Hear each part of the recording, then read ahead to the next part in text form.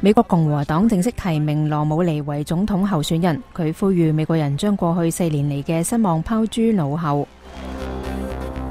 法国外长法比尤斯同英国外交大臣黑格，促请阿萨德嘅支持者脱离叙利亚现政权。残奥会正喺英国伦敦举行。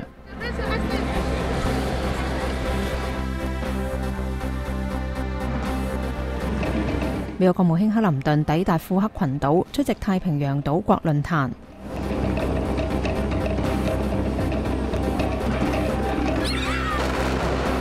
中国重庆地标建筑被拆除，以兴建新嘅摩天大楼。